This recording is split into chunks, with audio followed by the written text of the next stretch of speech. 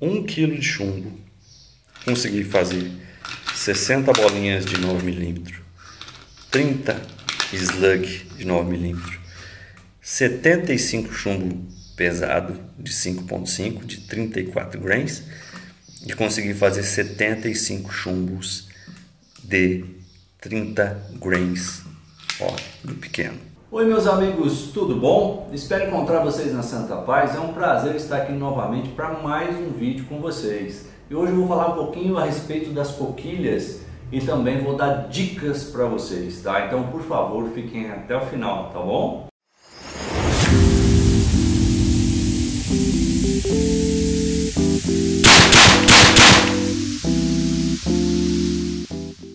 Pessoal, antes de mais nada, antes de falar qualquer coisa, gostaria de falar a respeito de segurança. É o primeiro item fundamental é segurança.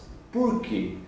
Porque você vai trabalhar com chumbo quente, tá? Chumbo derretido, que pode cair em você e pode se queimar.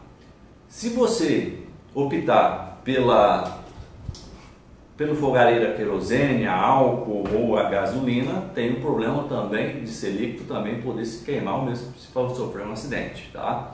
Então, se você optar por essas opções, ou seja, ah, eu vou derreter meu chumbo para ser independente, para ter uma autonomia maior, para me gastar menos dinheiro, segurança é fundamental, tá? Então, cuidado, muito cuidado que está trabalhando com produtos com fogo, está trabalhando com produtos quentes, então uma coisa que eu sempre utilizei é uma camisa de algodão grossa de manga comprida, tá? Essa é uma das coisas importantes. Outra coisa também, luva de couro, pessoal. Luva de couro é importantíssimo para você também não queimar as mãos, tá?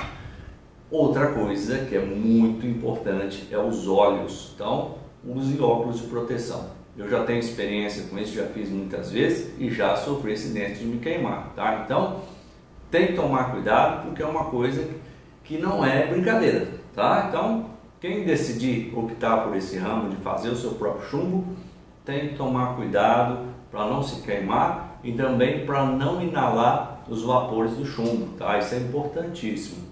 Agora vou para umas dicas mais profundas, que essas dicas vocês não acham na internet, principalmente no Brasil. Nos Estados Unidos você acha muito, mas no Brasil é difícil. Então vamos falar um pouquinho a respeito dessas dicas.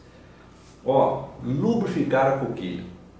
As, as coquilhas, elas têm peças em metal, tá? ou seja, em aço carbono, tem peças em alumínio, tá? Então, com o tempo vai criar ferrugem, com o tempo vai ter problemas de, de sujeira, por causa de trabalhando com chumbo. Então, sempre lubrificar a coquilha. O que eu recomendo, que é fácil de você achar, é grafite, tá? Pode ser grafite em pó, no caso que eu uso grafite em pó, mas também pode ser grafite em bastão. Então você tem que passar em toda a coquilha para ela trabalhar fácil, assim, ó.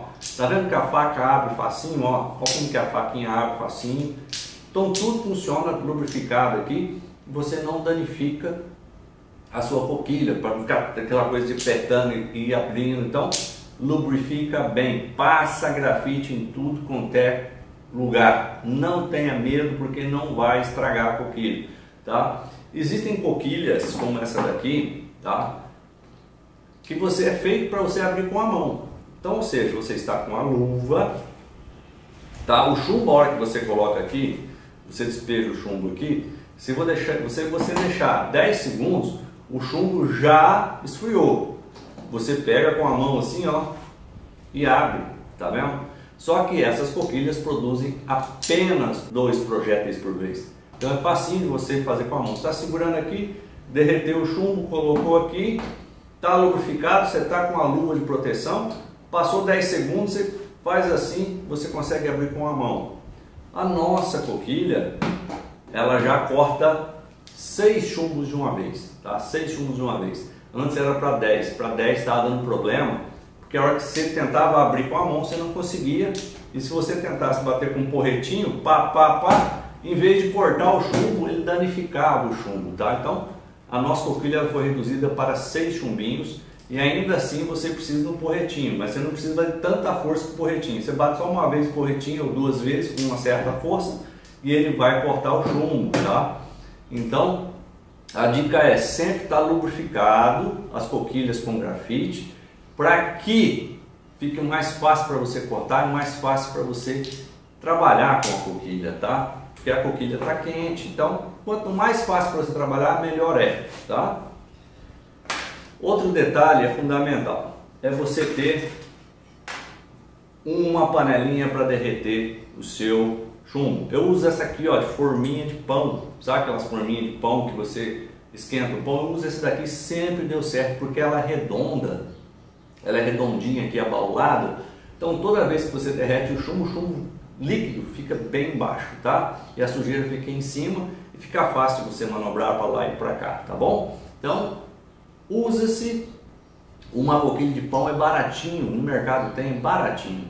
você não vai ter nenhuma despesa, você vai ter duas formas ainda, tá? As formas, vai ter duas panelinhas para você derreter. Tudo isso que eu estou falando são jeitos mais simples e mais baratos para vocês fazer o chumbo de vocês, tá? Sempre, pessoal, sempre, sempre usar menos de um quilo de chumbo para ficar fácil de você mexer, fácil de você trabalhar. Nunca coloque mais de um quilo de chumbo. É, fica dificultoso porque você gasta muito gás para derreter o chumbo, você gasta muito querosene para derreter o chumbo e ele demora demais e ele esfria mais rápido. Ou seja, o que acontece? De acordo com você vai fazendo chumbo, né, vai ficando um pouco, lá você vai pegando o resto do chumbo, vai jogando dentro dele, derrete mais rápido. Se for muito chumbo, mais de um quilo de chumbo, você tem um problema que você joga ali, demora para derreter aquele chumbo que está ali, tá? Então utilize menos de um quilo de chumbo. Menos de um quilo de chumbo é o ideal para você fazer a sua produção de chumbo. Item número 4. Toda vez que você for derreter o chumbo, você for produzir seu chumbo, produzir a sua munição, faça em local arejado, local aberto. Não é lá no quintal de casa com vento, aquele monte de vento, que aí você não consegue nem derreter, tá? Mas local aberto, tá? Pode ser local aberto, pode ser numa garagem. Eu uso numa garagem aqui, é um local aberto, tem ventilação, mas não tem vento, tá? Então, porque você está mexendo com fogo, chumbo derretido, o vento atrapalha e esfria o seu chumbo. Então, local arejado, aberto, que tenha ventilação de ar para que você consiga trabalhar tranquilamente sem ficar respirando os gases do chumbo, tá? Que é prejudicial, tá bom? Mas é um quilo de chumbo só que você vai derreter, então não precisa se preocupar, ah, preciso usar uma máscara. Você não vai fazer isso todo dia. Você vai fazer isso em uma hora mais ou menos, você vai num local aberto, em uma hora você consegue fazer a quantidade de chumbo que eu fiz aqui, ó. Eu fiz 150 chumbinhos no 5,5, olha aqui, 75 no modelo mais pesado, 75 no modelo mais leve, tá? Que a coquilha faz isso. Então, 150 chumbinhos. Fiz 30 slug de 9mm e fiz 60 bolinhas de 9mm, tá? Isso tudo com 1 kg de chumbo só. É claro que eu tenho experiência, mas em uma hora eu consegui fazer tudo isso e usei 1 kg de chumbo, tá? 1 kg de chumbo, olha que bacana aqui, tá vendo? Então, ó, legal, né? Quinta dica o chumbo tem que ficar tão derretido que ele tem que virar uma água, tá? O que virar uma água? Quando você pega a colher assim, você pega o chumbo assim, você despeja ele de volta assim, ele tem que escorrer fluido como uma água, tá? Se ele ficar espesso, duro, que nem um queijo ou que nem um, é, um creme, não é legal, ele tem que ficar como água. Você pegou, levantou, ele tem que escorrer como água, tem que ficar bem diluído, bem bacana, tá? A sexta dica que eu vou falar para vocês, o chumbo tem que ficar puro. O que é ficar puro?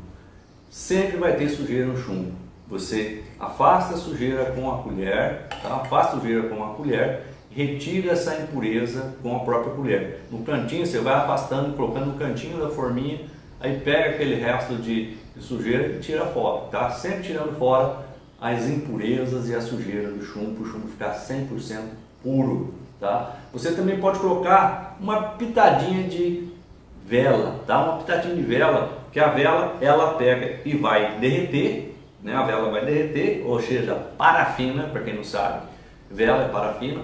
Ele vai juntar a sujeira tudo num canto só e você também consegue pegar com a colher. Mas é só uma pitadinha, tá? Você não vai colocar lá um, um dedo de, de, de vela, não, porque ele pode, ele vai diluir, vai pegar fogo, é pior ainda. Então, às vezes, eu até evito de passar essa informação, porque tem gente que vai colocar demais, porque eu já coloquei. Tá? Eu já coloquei demais vela, ele pegou fogo para apagar, isso não trabalha nada, tem que deixar queimando lá, tá? Então é só um pouquinho de vela, só uma raspadinha, Dá uma raspada na vela, coloca ali, ele pega, queima aquela sujeira em cima, junta tudo num canto só e você tira fora quando você usa parafina, tá? Isso é muito legal, muito legal. Então essas são as dicas que eu tenho para falar para vocês a respeito de coquilha, tá?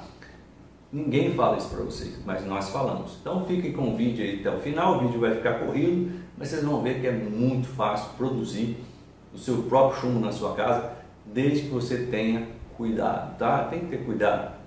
Uma das coisas que eu gostaria de falar para vocês é o seguinte: tem alguns chumbos que não saem perfeito, tem alguns chumbos que vão sair com algum defeito. Esses chumbos que tiverem defeito, você não vai jogar fora, porque você já derreteu, você já gastou energia, gastou tempo para fazer isso nós estamos desenvolvendo um padronizador de chumbo que vai ficar legal esses chumbos para vocês e vai ficar com um formato bem bacana, vocês vão gostar. A gente vai fazer esse vídeo para vocês. Por enquanto é só o da coquilha, tá bom? Muito obrigado e até a próxima. Oi pessoal, hoje a gente vai produzir chumbos tá? nas coquilhas. São duas coquilhas de 9mm e uma de 5.5. Então, antes de começar, a gente tem que lubrificar as coquilhas para ficar mais fácil para efetuar o corte, tá? Então, vamos começar aqui.